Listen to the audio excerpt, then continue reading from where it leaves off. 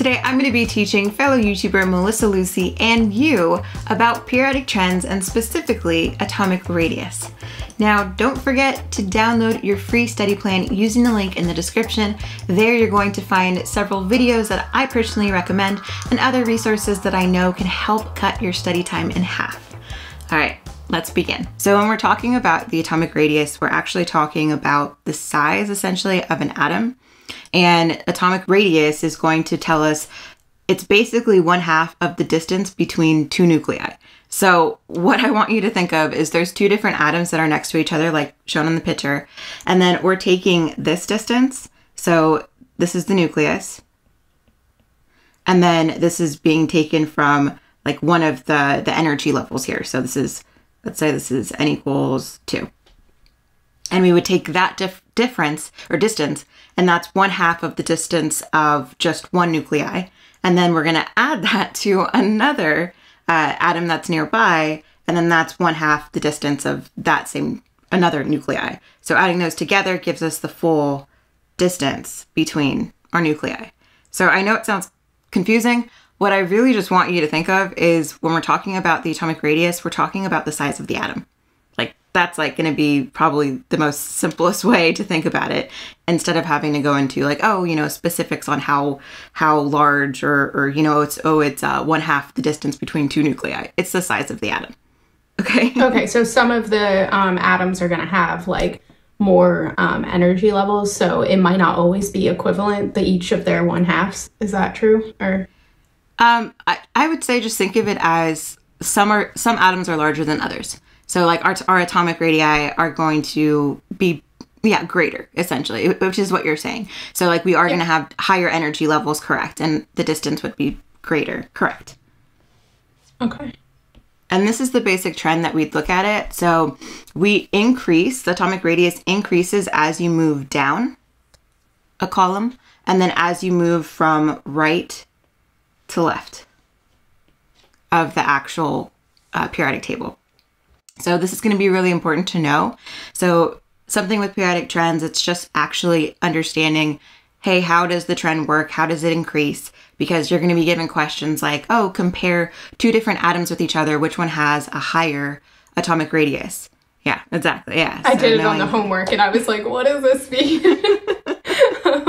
right. So it'll make more sense today. Uh, but I'd say definitely know, like, just this image alone, like, burn it in your brain right now, just knowing that this is how the trend works.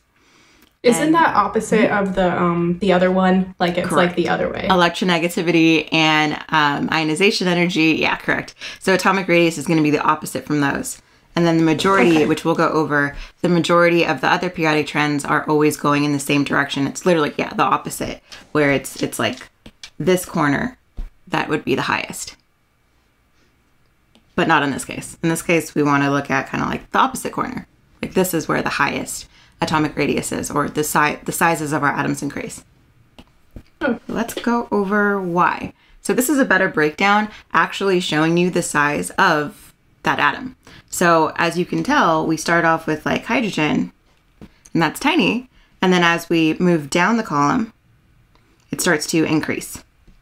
So when we get down all the way to cesium, and by the way, these numbers on top are not the atomic numbers, they're actually the distance or the size of our radius um, in picometers. So this is in picometers. But just knowing that and seeing, like, not that you necessarily have to know that it's in picometers, but just showing you kind of like how the trend actually works and seeing the sizes of each atom. So this is going to be beneficial just to, to have, a, you know, a good visual. Once again, I don't expect you to remember Like, oh, how large is it? Or, or you know, how, how much is the actual radius in picometers? Um, now, this I do expect you to know. And your professor does too. So, understanding why the trend actually works this way. So, why does, you know, why does the atomic radius increase as we move down a column? Well, that's because we're actually increasing our quantum number n, right? The principal quantum number, remember, is telling us the size and the energy level um, of that orbital. So recall that this is really saying, oh, n equals 1, n equals 2, and so on, and it keeps increasing that energy level. And because of that, then we're actually um, making our orbitals larger, which is what you were talking about uh, when we were going back to here, we're going to have more rings, right? Yeah. And then that's going to increase our distance. Does that make sense? Yes. Cool. So, like something versus, once again, we could look at the um, electron configuration where we would see lithium, which is in highlighted in purple, and then cesium highlighted in purple as well. Well, the only thing that's changing here, it's not the actual um, like s orbital. Instead, it's just our n value that's increasing. And that's the main reason why it increases that way. If we were to look at the other trend, this goes with our Z effective, which remember was talking about the the overall charge of our actual atom. So if I were to go back to this picture, just talking about Z effective, um, all we're looking about is is sorry, all we're talking about here is the total attraction that an electron feels towards that nucleus. And then during that same duration, remember that idea that, oh, well, electrons are also repelling at the same time, and there's two different things going on attraction and repulsion. Um, so let's go back to understanding how these two come together. So it increases as we go from right to left, just because our Z effective is actually going to decrease. So if our Z effective decreases, then that's essentially just saying that um, there's a stronger attraction between the inner electrons or the core electrons with the nucleus rather than the uh, valence electrons or the outermost electrons with the nucleus. And all that means, and I'll explain what that means in a second, but this is basically resulting in a larger atomic radii. So I want you to compare two different elements here. So if we were to start off with, let's say, chlorine, and if I were to actually draw this out, showing all the electrons that it has, so chlorine has 17, right? 17 electrons. Well, I know that there are seven valence electrons. So those seven valence electrons are going to be on the outside. And then if you didn't know that that's how many they have, remember we could have actually written out the electron configuration and then did what we did before, counting how many core electrons, counting how many valence electrons. So I can show you that. Um, if I were to draw out the, the electron configuration of chlorine, this would be 1s2, 2s2, right, going here, and then 2p6, so now we're here, turning around, 3s2, and now I'm here, uh, 3p, and how much? So 1, 2, 3, 4, 5. If I wanted to count how many valence electrons there are, we look at the highest coefficient here, or highest n value, and then now we look at the electrons, 2 plus 5, 7. So there are 7 valence electrons. All that means is there's going to be 7 on this last orbital. And then next, everything in, in between is going to be our core electrons. So there's eight here and two here. So add, all, add that all together, that gives us 10. Good so far? Yes. Yeah, cool. So if I were to um, actually try to figure out what the Z effective is, remember that Z would be the number of protons, so 17. And then the number of our core electrons, we said was 10 subtract that, that gives us a positive 7. Now, if I were to compare this with uh, sodium, then I would see, okay, well, sodium has only one valence electron. And then uh, that's why I have, here's the, here he is. So there's our valence electron, just that one on the outermost shell, and then several core electrons inside. So our number of protons would be 11, our number of core electrons would be 10, and our Z effective is plus 1. So going back to the trend, just understanding it, we just moved from right to left, and it's saying that it's increasing as we go towards the left. So as we increase the atomic radius, we're going to decrease Z effective. And it's so is the is the Z effective just the number of valence electrons because it end up being the same? Like, are we essentially just calculating the valence electrons? Kind of, sort of, but we're, we're, it doesn't define it. I'd say it's okay. Yeah, because it, it's not what Z effective actually is. Okay. Yeah. Um. So, so I, I don't want to say that that's the definition. No.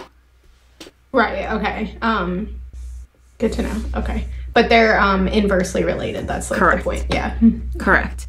And then it, it's basically the concept is just that, well, doesn't Na have actually if I were to compare it, they both have the same. But but this is just showing you that hey, this is decreasing. That is the trend. It's understanding that Z effective is going to decrease as atomic radius increases.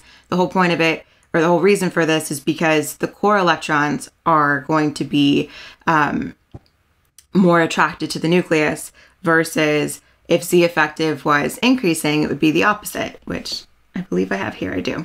So if Z effective is increasing, so the opposite, right? This is the trend where it's actually decreasing if we move from left to right, comparing the same elements that we did before. Well, once again, this is inversely proportional. So as we decrease the atomic radius, we'll, we'll increase the Z effective.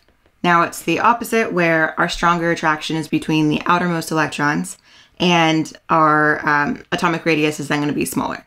So understanding that trend, I would say, is going to be important. Um, I, the reason why I put both that oh this is increasing as you move from right to left and then z effective is decreasing and vice versa here is because I don't know what's going to be on the test.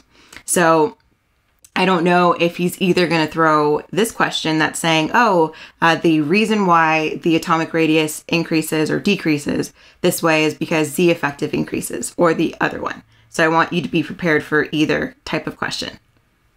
Okay. Okay. Questions so far? Uh, no, I think I'm good. Okay. cool. So let's just arrange this. Um, a lot of these questions are literally going to look like this, where they're just going to say, arrange the following elements in uh, increasing order or in order of increasing atomic radius. So in increasing order, that just means we're going to have the smallest be first, and then the largest will be last. Okay. So for now, I'm just going to highlight and see where is everything on the periodic table. So I know that K is potassium, that's going to be here. And then uh, cesium is here, Na is here, and hydrogen is here. So they're all in the same group. So what would be the small, what would have the smallest atomic radius?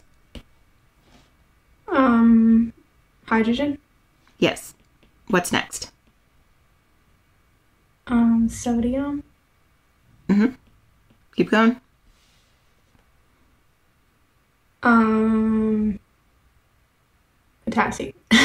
Good. I was trying to remember what the K was. And the last Um, one, I don't know what CS is. cesium. Cesium. Okay, cesium. Cool. That's it. And then if this were to ask you to find this in decreasing order, you would just flip this around. So the first one would be cesium, then it would be potassium, sodium, and then hydrogen. So definitely beware of whatever it says here because that could be tricky. They're either going to say increasing or decreasing. okay. All right, we'll do the next one. I'll highlight it in blue. So carbon is here. Next we have boron. Uh, lithium is here. And oxygen's here. So what would be the smallest? The smallest would be oxygen, Good. Keep going. carbon, Mhm. boron, lithium. That's it. Cool. Easy enough. Yeah. Cool. so this one's the opposite. Now this is decreasing order. So, okay, this is decreasing order. Once again, I'm just going to highlight where everything is. I think that's probably the hardest part is if they give you elements that you're not, you know, familiar with, is actually identifying where they are on the table. Um, that probably Yeah. takes the longest time. So this definitely helps you get familiar with everything. Um, and barium too. Okay. So this is decreasing order, meaning we're actually going to start off with the largest and then get to the smallest. Okay, so it's going to be barium, calcium, magnesium, beryllium. That's it. So those are nice. Not too bad. It's really just knowing, hey, is this saying increasing or decreasing? Right. And trick question. Okay. So, of course, why did it have to stay easy? so, with this one, The reason why I'm showing this table and it's a little bit different is I wanted to show you how close um, it is. Like if I'm comparing nitrogen and if I'm comparing sulfur, um, like these two. Now, if you were actually given the values and even given the sizes, it would be easy to tell, but you're not. You know, you're not given that. You're just, you're literally just saying, like, hey, these are pretty equidistant to each other. How do I know which one is going to be larger? Because they're basically, this is said to have opposing trends. And all that means is that nitrogen is higher up. Actually, is nitrogen is further to the left, right? Or yeah, further mm-hmm. to the left. So we know okay, that has to increase. But then sulfur is farther down, and that follows this trend. So because you don't know which trend is greater and you don't know the actual size of the atom, you're not, you're not given the actual value, there's not enough information here. So you wouldn't be able to make a decision. That's why this is a trick question. So if you were given this sort of question, um, and I know you have multiple choice, so one of the answers could be opposing trends or not enough information or something where it basically says, I can't make up my mind which one. yeah. Okay. So beware of these types of questions. And once again, it's just it's just when those are are equidistant to each other.